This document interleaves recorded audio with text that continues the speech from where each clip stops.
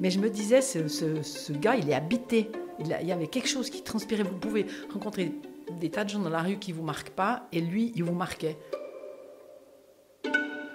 Maurice Zindel, Une vie, une œuvre. Bonjour à toutes et à tous et bienvenue pour ce nouvel épisode du podcast Maurice Zindel, Une vie, une œuvre. Aujourd'hui, j'ai le plaisir d'accueillir Catherine Lombercier. Bonjour Catherine. Bonjour Pierre. Alors Catherine, vous êtes lausannoise, vous êtes juriste de formation, vous avez été engagée en église, vous avez travaillé en église pendant une quinzaine d'années. Vous êtes à la retraite depuis peu. Oui.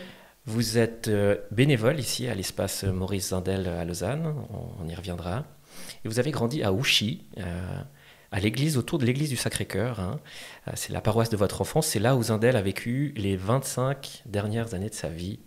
Donc vous avez connu cette paroisse enfant, vous avez connu Zindel, l'abbé Zindel, hein, dont vous, Oui. les- vous avez des souvenirs dont vous pourrez nous, que vous pourrez nous partager. On va évoquer ces souvenirs de l'abbé Zindel, on va évoquer cette paroisse aussi du Sacré-Cœur euh, euh, d'Ouchy à Lausanne. Et puis, euh, vous avez d'abord découvert l'homme, Zindel, les actes qui vous ont euh, impressionné enfant, et puis vous avez découvert plus tard sa pensée, et sa pensée qui vous inspire aujourd'hui. Alors commençons par parler de cette paroisse du Sacré-Cœur. Qu'est-ce qui, caractérisait cette paroisse à l'époque où Maurice Zindel s'y trouvait? Alors, pour moi, la paroisse du Sacré-Cœur, c'est effectivement toute mon enfance et toute ma première jeunesse, en fait. Et puisque c'était une paroisse qui était très active au niveau de, de tout ce qui était proposé aux jeunes, il y avait des, des tas de groupes de scouts, il y avait des groupes de jeunes, il y avait des kermesses. C'était une paroisse très, très vivante, qui avait déjà un petit peu cette connotation euh, un petit peu paroisse bourgeoise. Et hum, en fait, c'est vrai que cette paroisse m'a beaucoup structurée, tant au niveau de ma foi, puisqu'en fait j'avais un père et une mère qui étaient aussi très actifs dans cette paroisse. J'ai un père qui m'a beaucoup marqué parce que il vivait sa foi dans l'action. C'était pas quelqu'un qui nous, mais il y réfléchissait beaucoup. Alors donc, comme enfant, on avait l'impression de quelqu'un qui nous abreuvait pas de dogmes, de, textes bibliques à lire, mais de quelqu'un, moi j'ai toujours ressenti ça qui, comme il vivait sa foi. Et il était chef du personnel dans une assurance et il avait toujours à cœur aussi, il se disait catholique, il se disait, euh, il n'avait pas honte de ce, de, de ce qu'il était et je pense que ça l'a ça a beaucoup influencé ses décisions dans le cadre de, dans le cadre de son travail, qui était la relation avec le personnel, qui n'était pas toujours évident. C'était des postes qui étaient assez nouveaux en 1970. Donc une adéquation chez votre papa, chez votre père entre Voilà, exactement. Puis alors ma mère qui était plus pratique, elle, elle était du conseil de paroisse, donc on avait un joli mélange. Et j'ai créé beaucoup d'amitié avec des, des jeunes à la paroisse du Sacré-Cœur, avec lesquels pour pas mal je suis encore en, contact. Donc c'était, c'est vraiment une, ép- une époque marquante de mon, de mon, de mon vécu. Ouais. Et alors Maurice Zindel là-dedans, quels sont vos Maurice premiers Zindel, là-dedans, c'était cet, euh, cet homme qui passait. Il avait toujours une longue cape. On avait toujours l'impression qu'il était un peu absent, mais en fait, il était très présent. Euh, pendant les messes, il arrivait par la sacristie, il s'accrochait à l'ambon, il parlait, toujours très habité par tout ce qu'il disait. Donc, c'était quelqu'un de très sensé, de très intelligent. hein, je ne veux pas vous dire par là que c'était quelqu'un qui. Mais, euh, puis qu'après, il repartait. On ne peut pas dire que c'était quelqu'un qui nous attendait à la sortie de la messe, bonjour, qui venait dans les groupes de jeunes, pas du tout. Mais en tout cas, moi, il m'a marqué par, euh, par son, son attitude, son, plus que par ses dires. Et puis en fait, ben, ces textes, je les ai découverts un peu par mon père, parce que mon père était hum, une bibliothèque Maurice Zindel qui défiait euh, toute euh, concurrence. Et, mais je dirais que moi, l'approfondissement des textes, c'est plutôt maintenant, comme bénévole à l'espace, que je découvre. C'est plutôt, je suis partie d'un émerveillement euh, de cette personne, et maintenant, j'approfondis les textes et j'approfondis sa pensée. Voilà. Vous avez parlé de ces actes, c'est quoi ces actes qui vous restent en Alors, mémoire c- alors ces actes, c'était, il était toujours, euh, parce qu'on entendait beaucoup parler de lui, il vivait, euh, il était toujours à la disposition des gens qui venaient le chercher. Je veux dire, c'est pas quelqu'un qui s'exposait devant la paroisse, voilà, je venais, j'a- j'accueille. Mais de fait, si vous aviez besoin, il était là. Et je sais qu'il a beaucoup, il, s'est occupé de beaucoup de personnes hein, auprès desquelles il était très généreux d'ailleurs, euh, des tas d'anecdotes à ce sujet. la, dame de la cuisine du Sacré-Cœur nous disait toujours qu'il mangeait de la purée de pommes de terre, qu'il la mangeait dans sa chambre.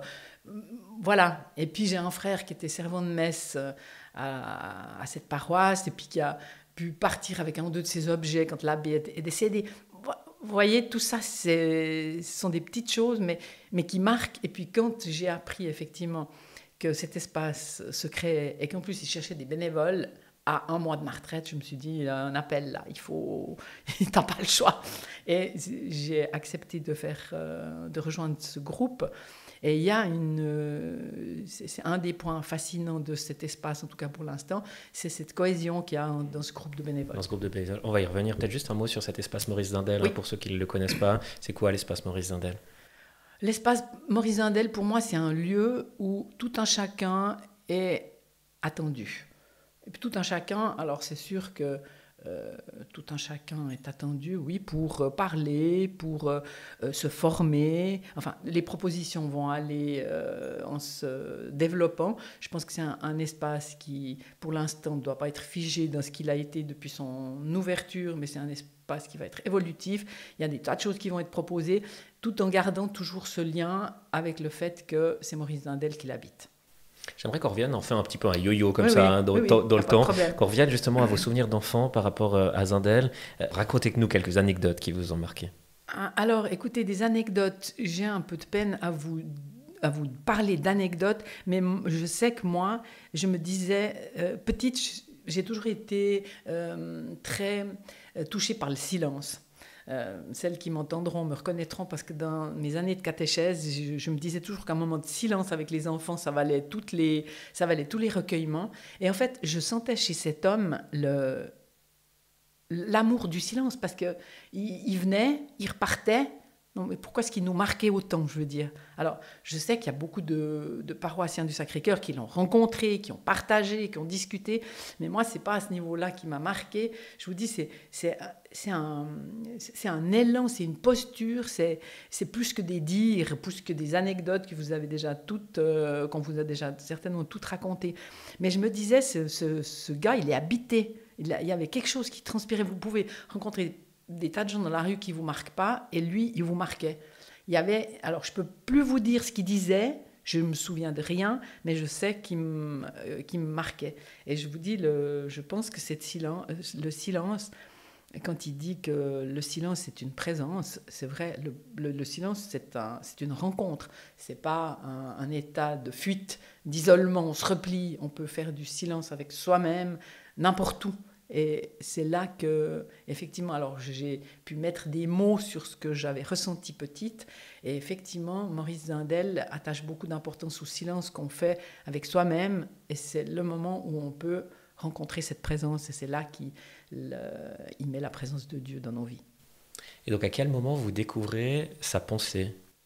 Alors sa pensée, je l'ai découverte petit à petit en en discutant pas mal avec mon père, et puis après Bon, ben, je, lisais du Zindel, mais vous savez, lire du Zindel, c'est pas facile. Hein. Lire du Zindel, moi j'arrive au bout d'une page, parfois je me dis, voyons, mais est-ce que tu es bien sûr d'avoir compris quelque chose?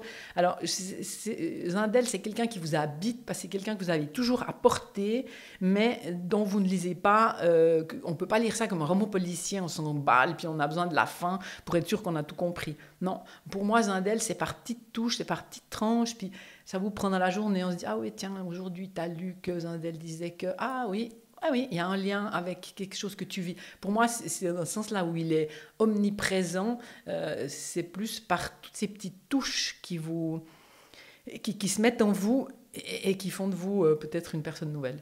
Alors, quel type de petites touches vous inspire Alors, ces petites touches, moi, c'est vraiment, c'est l'humilité, c'est l'ouverture à tous, c'est le non-jugement, et puis c'est ce silence, ce silence qui, euh, je crois quand même que c'est dans le silence, même si on fait silence à la, en faisant la queue au supermarché, on peut euh, trouver cette sérénité. Euh, cette sérénité. Puis il a, alors bon, effectivement, depuis qu'on est ici, on reçoit de très beaux textes qui nous sont distribués.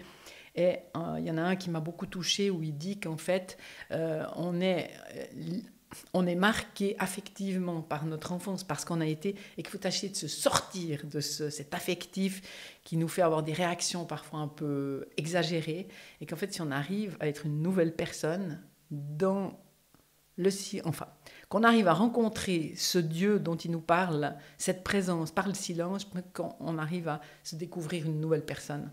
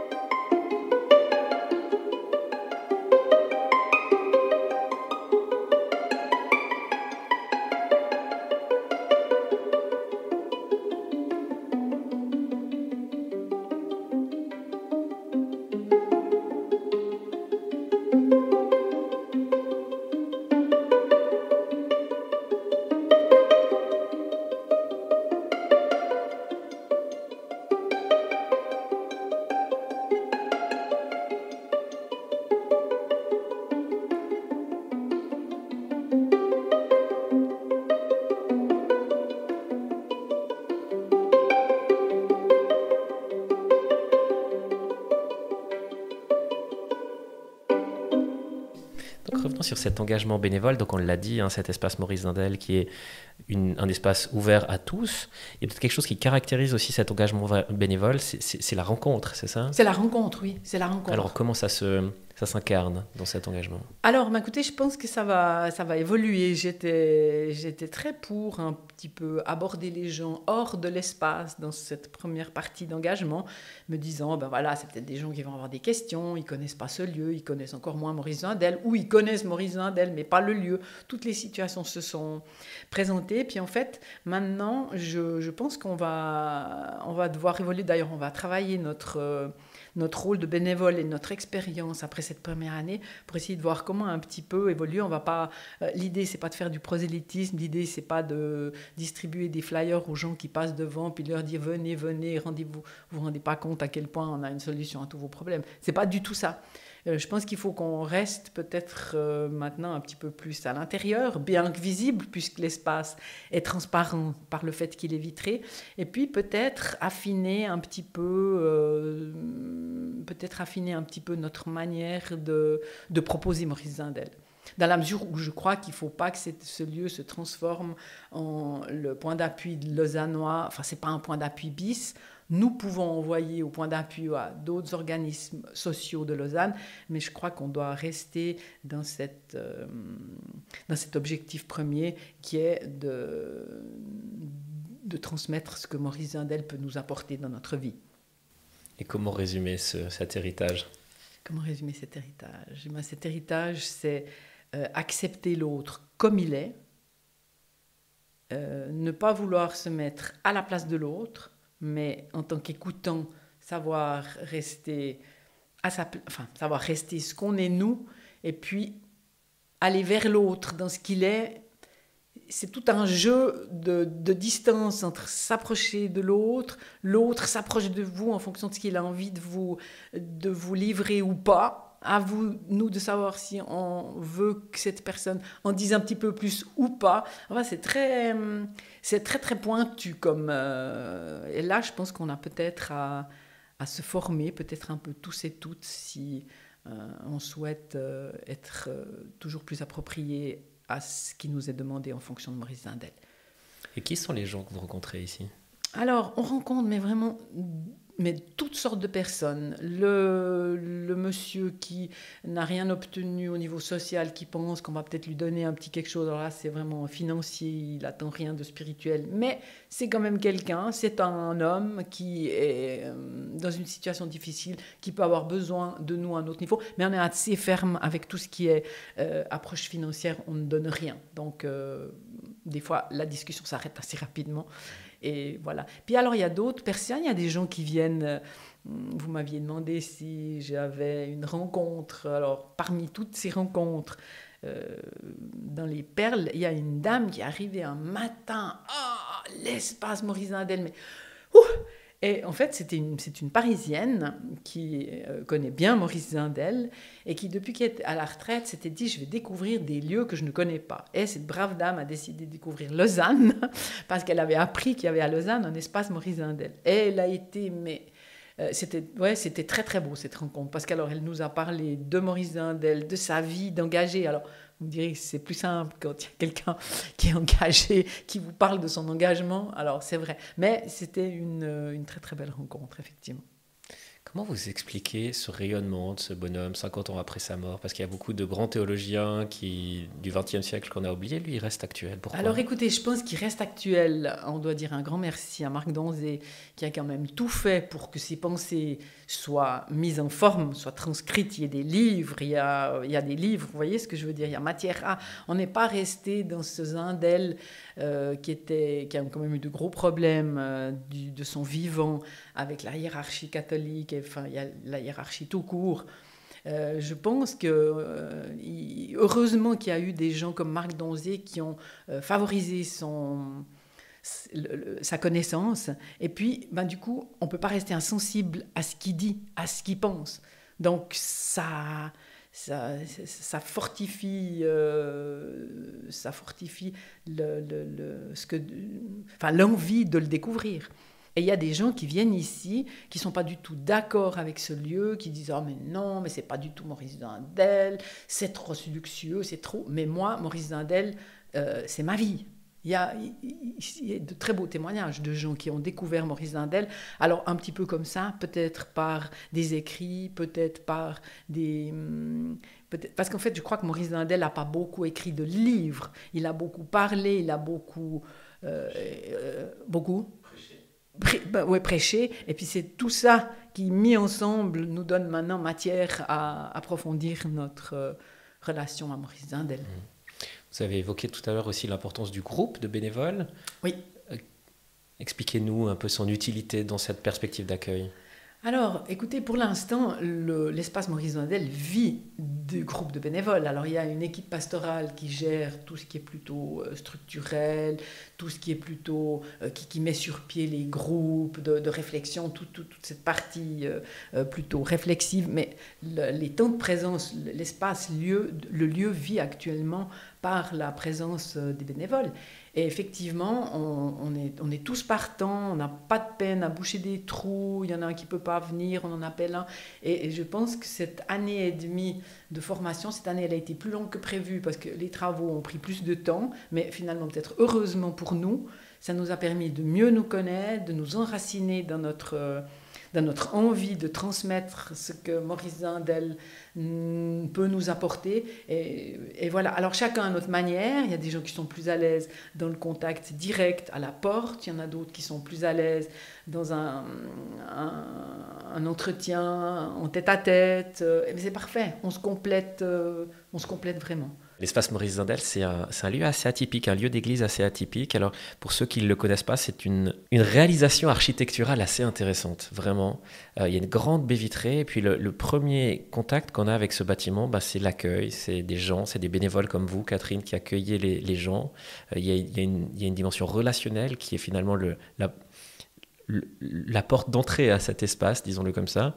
Ensuite, pour ceux qui le souhaitent, on descend quelques marches pour arriver au sous-sol, un peu aussi une symbolique d'un chemin intérieur. Fond, on descend dans ce bâtiment comme on descend à l'intérieur de soi, et là on retrouve une magnifique église, euh, une salle de méditation, euh, la, la, fondation Maurice Zindel, les archives s'y trouvent aussi donc c'est un espace qui est animé par une équipe pastorale, structuré par une équipe pastorale, mais qui est aussi euh, vivifié par des bénévoles dont vous faites partie.